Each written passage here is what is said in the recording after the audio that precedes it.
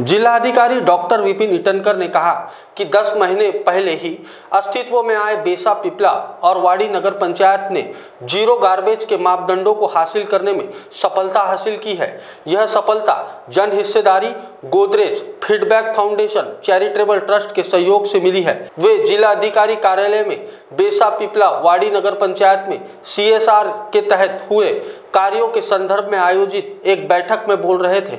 नगर पंचायत सहायक आयुक्त अतुल पंत, गोदरेज के वरिष्ठ अधिकारी कोमलजीत सिंह कौर, विश्व, विश्वास हव्य शैलेश फैलाना, फीडबैक फाउंडेशन के अधिकारी और कर्मचारी अजय सिन्हा इस दौरान मौजूद थे।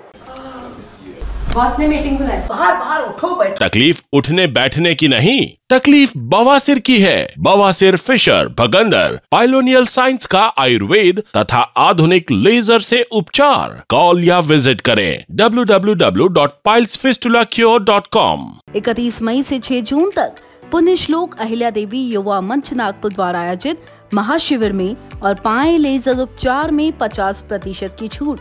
अधिक जानकारी के लिए संपर्क करें nine nine seven zero seven four double three one eight पर हमारा पता महापुष्प सोसाइटी लोहा समाज भवन के पीछे शताब्दी चौक मनीष नगर रोड नागपुर